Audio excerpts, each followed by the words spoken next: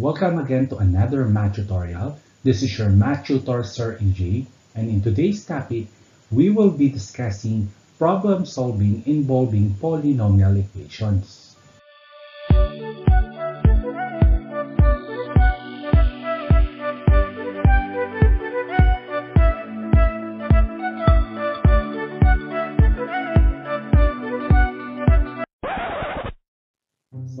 Problems can be fun, but we don't know where to begin with. And sometimes it can be very frustrating. Problem solving skills can be improved greatly with consistent practice. So problem solving skills is a process. And when we say process, it consists of several steps which are applied sequentially. So the first step in solving problems is to understand the problem. You need to read the problem and then state the given facts. And then the second step is to plan your approach. So you need to choose a strategy. And then the third step is to complete the work by applying the strategy and using the algebra you know to apply the strategy to solve the problem. And the last step is you need to interpret the results. State your answer, then check, does your answer make sense? Does it satisfy the conditions of the problem? So let's have our first problem. In the TLE class at General Emilio Aguinaldo National High School, the boys of Gitan Pythagoras was asked to build a huge wooden rectangular container with a volume of 60 meter cube. The width of the rectangular container is 2 meter less than the length and the height is 1 meter less than the length. Find the dimensions of the container. So the first step is to understand the problem. So after reading and understanding the problem, sometimes it is much easier to understand if we draw a diagram. So here is our figure. So we have the following width, which is equal to x minus 2. The length is x, the height is x minus 1, and then the volume is 60 meter cubed. So the next step is to plan your approach. Choose a strategy and the strategy to use is to translate the facts in the problem into an equation, then solve to find the answer. So we need to assign variables to represent the unknown. So let x represent the length. And then after that, since the value of the width is equal to 2 meter less than the length, then the equation of the width will be equal to x minus 2. And then we have the height which is equal to 1 meter less than the length. Then the equation of the height will be equal to x minus 1. So we will use the formula. And the formula in finding the volume of rectangular prism is volume is equal to length times width times height. And then we will substitute our volume is equal to 60 equals the value of the length is equal to x times the value of the width is equal to x minus 2 times the quantity of the value of the height is equal to x minus 1. And then we will simplify. Bring down 60 equals x times x minus 2 times x minus 1 is equal to x cubed minus 3x squared plus 2x. And then after that, we will transpose positive 60. It will become negative 60. So the equation will be x cubed minus 3x squared plus 2x minus 60 equals 0. Then after solving for the general equation, we will find the roots of the polynomial equation. So we will solve the equation x cubed minus 3x squared plus 2x minus 6k equals 0 using synthetic division. So let's try using positive 6. So we will get the numerical coefficient of each term of the polynomial. So the numerical coefficient of x cubed is 1. The numerical coefficient of negative 3x squared is negative 3. The numerical coefficient of 2x is 2 and then the numerical coefficient of negative 60 is negative 60. So we will draw a line here and then bring down 1. 6 times 1 is 6. Negative 3 plus 6 is positive 3. 6 times 3 is 18. And then 2 plus 18 will be equal to positive 20. And then 6 times 20 is equal to 120. And then negative 60 plus 120 is equal to 60. If the value of the remainder is not equal to 0, then 6 is not a solution.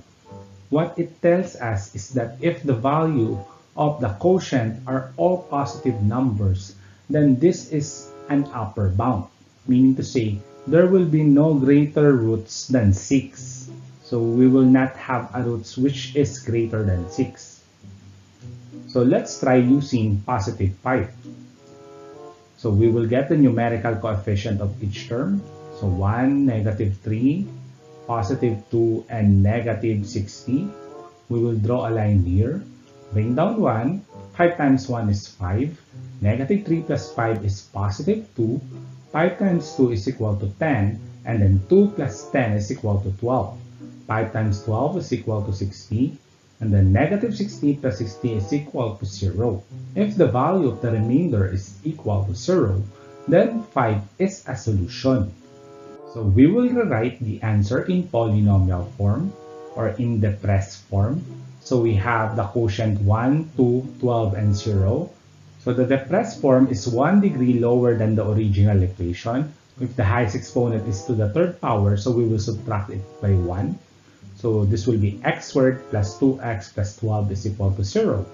After this, we will solve the quadratic equation. So let's try using quadratic formula.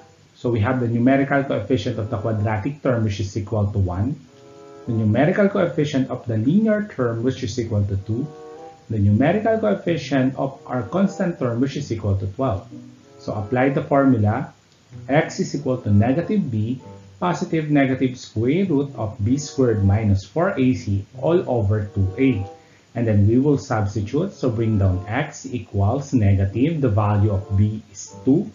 Positive negative square root of the value of b is 2 raised to the second power minus 4 times the value of a which is equal to 1 times the value of c which is equal to 12 over 2 times the value of a which is equal to 1. Then bring down x, negative times positive 2 will be equal to negative 2.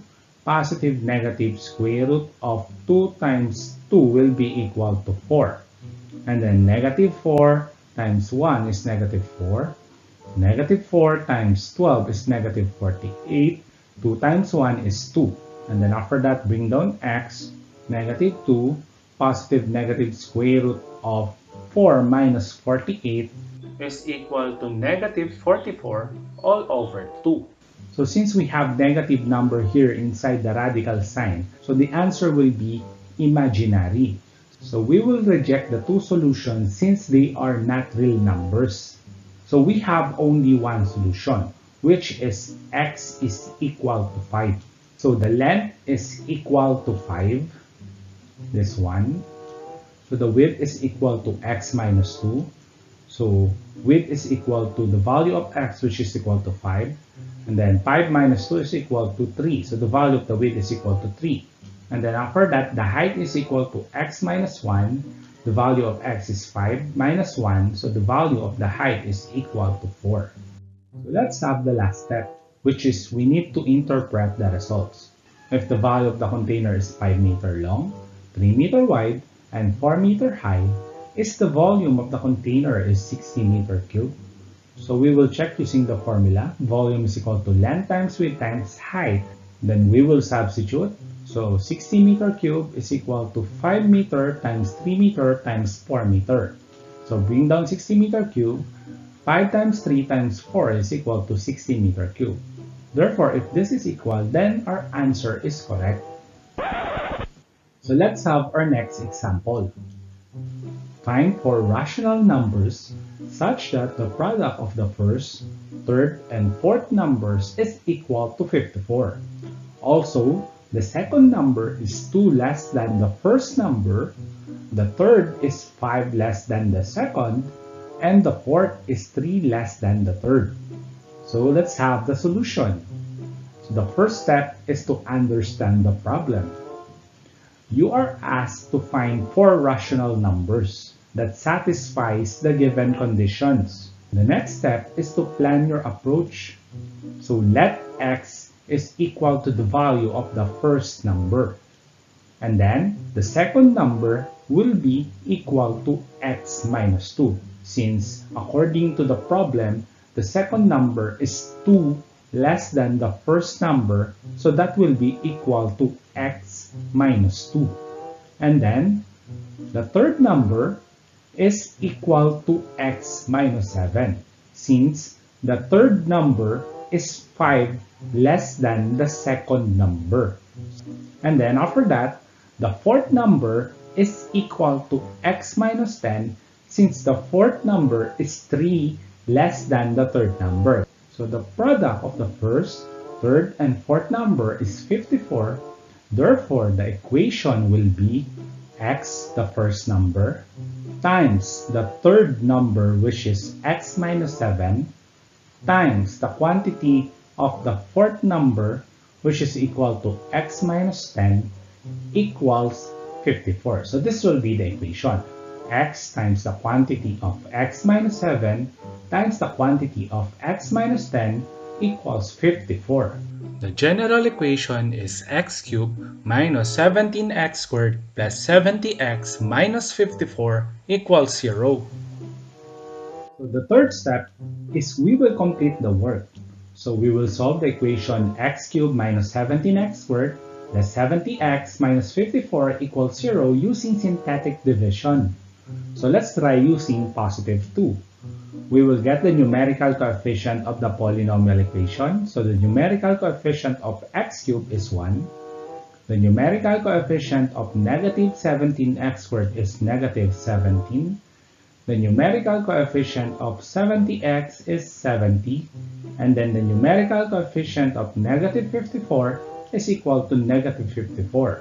And then we will draw a line here. Bring down 1. 2 times 1 is 2.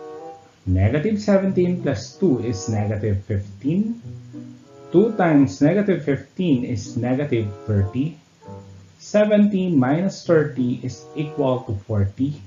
And then 2 times 40 is equal to 80.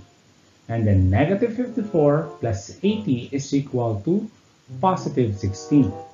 If the value of the remainder is not equal to 0, then 2 is not a solution. So let's try using positive 1.